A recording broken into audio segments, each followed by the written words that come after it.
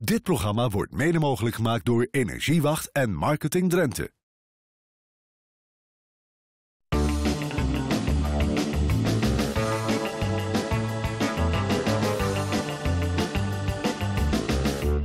Een hele goede avond allemaal en welkom bij deze extra uitzending van TV Drenthe Sport. Die geheel in het teken staat van de openingswedstrijd van het Ronde van Drenthe weekend. We zijn in Dwingelo en de vrouwen bijten hier het spits af met de Drentse 8 van de gemeente Westerveld. Een koers over 138 kilometer.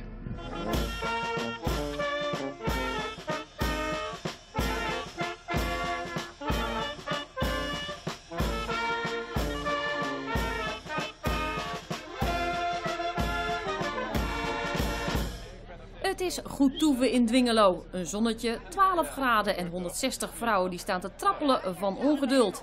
En het zijn niet de minste hoor, want dit is Kirsten Wild uit Zwolle. Onlangs werd ze wereldkampioene op de baan op het onderdeel Scratch. In Parijs was dat. Is wel even wat anders hoor, want op de baan is natuurlijk maar 10 kilometer en dit is ineens 140. Dus dat is wel een stukje verder, maar ja, ik ben het wel gewend en ik hoop dat ik op mijn ervaring een heel stuk kom. En dit is Giorgia Bronzini, tweevoudig wereldkampioene. Verprutst tot twee keer toe het feestje van onze eigen Marianne Vos. Annemiek van Vleuten, uh, laten we eens even meteen teruggaan naar het jaar 2010. Herinner jij je het nog? Ja, er waren drie hele mooie dagen in Drenthe. Ja, 3, 2 en 1. Dus uh, nee, die vergeet je niet gauw meer. Zit je in de buurt van die vorm? Ja, ik denk het wel. Dus, uh, maar goed, geluk moet ook een beetje aan die kant zijn. Maar uh, als je 3 2 1 wordt, ben je wel goed in orde natuurlijk.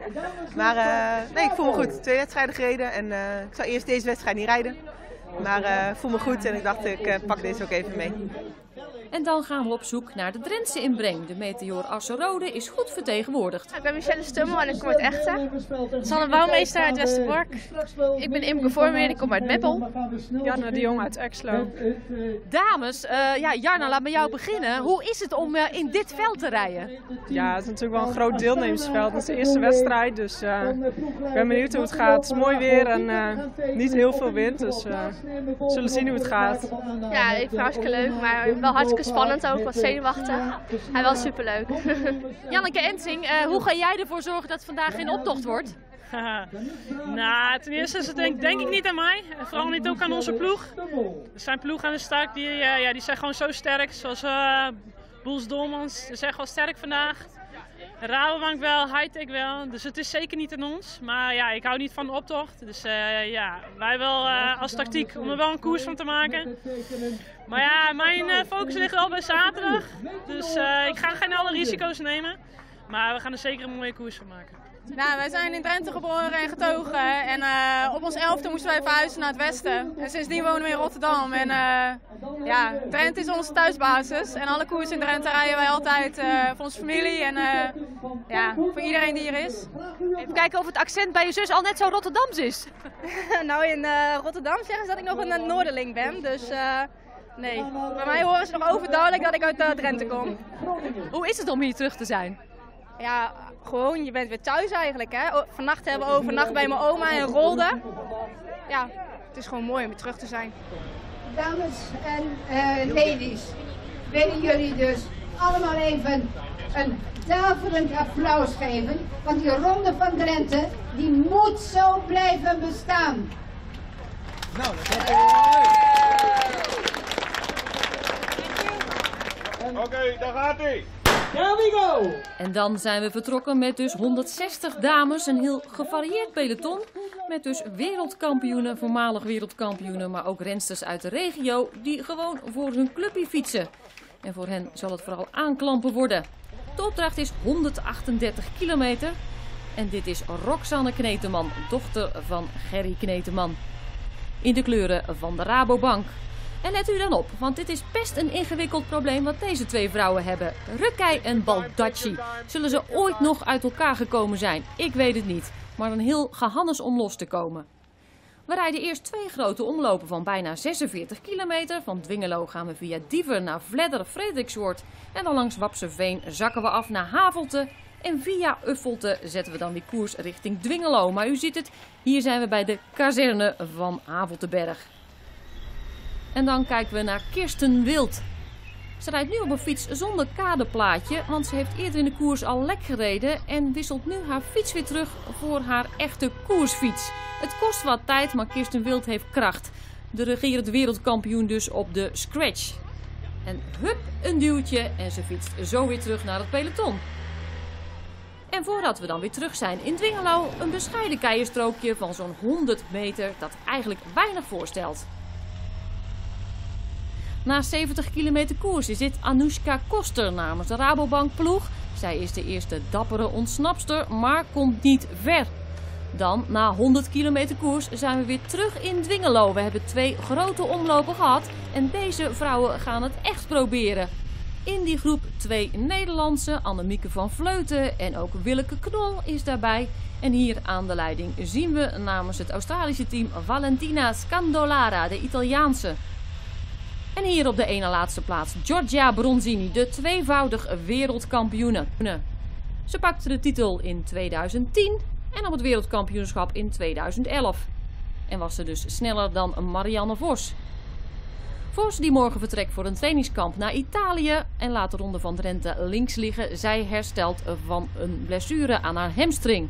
Verder in deze kopgroep ook Lauren Roney, Emily Moberg, Alice Maria Atsufa en Heather Fisher, de Amerikaanse.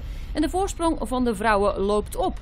Eerst is het 35 seconden. Het lijkt erop dat het peloton dichterbij komt, maar later komen ze ook boven de minuut. Dit is Roxanne Kneteman op kop van het peloton en daar lijkt de snelheid toch wel een beetje uit. Chantal Blaak namens Boels ook de slag gemist, net als Rabobank. En ook in dit peloton Janneke Ensing uit Gieten. De vrouwen van de Meteor Asserode hadden het zwaar onderweg en moesten al vroegtijdig de koers verlaten in verband met het hoge tempo. Deze vrouwen vechten nog voor wat ze waard zijn, maar dat leidt niet echt tot iets. Bijzonder dat Rabobank en Boels, de twee grote Nederlandse ploegen, de kopgroep hebben laten rijden. Maar de acht vrouwen lijken veilig voor de finale. Want we kijken hier in de kopgroep naar Willeke Knol, 23 jaar, komt uit Hasselt. Ook zij maakt samen met Annemiek van Vleuten dus deel uit van deze kopgroep als twee Nederlandse vrouwen. En dit is het peloton. Daar is de snelheid nu inmiddels echt helemaal uit. En dan weet je dat de acht vrouwen mogen gaan sprinten voor de overwinning. En dan zijn we terug op de drift in Dwingelo. Rechts is het Bronzini die de sprinten aangaat. Links zien we Annemiek van Vleuten.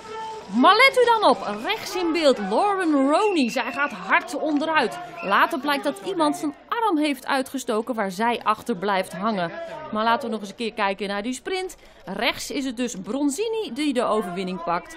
Valentina Scandolara, de Italiaans in het midden, wordt tweede. En links is het Annemiek van Vleuten die derde wordt. En eigenlijk nooit gedacht had dat ze meteen in de goede ontsnapping zat. Boel zat er niet bij en Rabobank zat er niet bij, dus ik dacht het zal lastig worden. En keek wel mee, dat ze maar ook niet de ideale groep. Bronzini zat erbij, heel snel sprintster. Dus uh, ja, goed, uh, een beetje uh, niet super hard meegereden, maar gewoon een groepje draaien gehouden. Ik denk wel, ja, in ieder geval moeten ze van achteren werken. Dus. Heel hectisch, ja. Ik dacht al een beetje infietsen we zaterdag. Maar het was van begin af aan uh, ja, best wel hectisch. Natuurlijk ook best zo'n uh, ja, een criteriumachtig parcours. Links, rechts, draaien, keren. En de wind begon uh, ja, later op de dag eigenlijk wat op te zetten. Dus ja, eigenlijk was het toch wel wat zwaarder dan ik had verwacht, ja. En over focus gesproken. De nummer 3 van de wedstrijd, Annemiek van Vleuten, krijgt helemaal niks mee van deze valpartij. Nee, dat heb ik niet gezien. Nee. Echt niet? Nee. Oh, dat was een harde valpartij bij een van jouw collega's. Ja, zeker. In mijn kopgroep? Nee, ik, ik had het ongeveer zwart voor de ogen, denk ik. ik heb niks gezien. Nee, ik was alleen maar, ik denk, ik moet derde worden, ik moet derde worden. Of in ieder geval, ik ga voor die ja, alles of niks, lag op kop wel, na de laatste bocht. alles gegeven. Dat is Want kom maar En tot zover TV Drenthe Sport voor vanavond. Zaterdag zijn we bij u terug met het volgende deel van de Ronde van Drenthe. De vrouwen rijden dan de wereldbekerwedstrijd en de mannen de Albert Achterhes Profronde van Drenthe. Een live uitzending vanaf kwart over één bij TV Drenthe. Heel graag, tot dan. Dit programma wordt mede mogelijk gemaakt door Energiewacht en Marketing Drenthe.